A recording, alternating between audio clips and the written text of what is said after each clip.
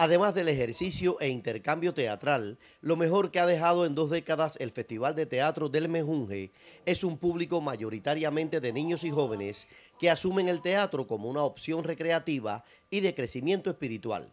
Aunque hubo muchas puestas de calidad para adultos, fue en el Teatro para Niños donde esta edición logró sus mejores momentos, tanto en la propia sede del Mejunje como en la sala del Guiñol de Santa Clara. Como nunca antes, el festival se desparramó por la geografía villaclareña.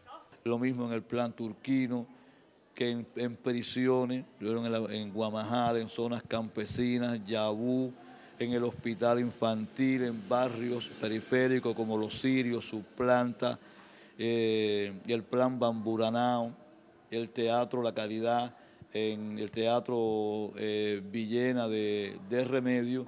Para enero del próximo año ya está convocado el 21 Festival de Teatro del Mejunje, que se mantiene como un encuentro no competitivo entre teatristas y abierto ahora a obras de pequeño y mediano formato.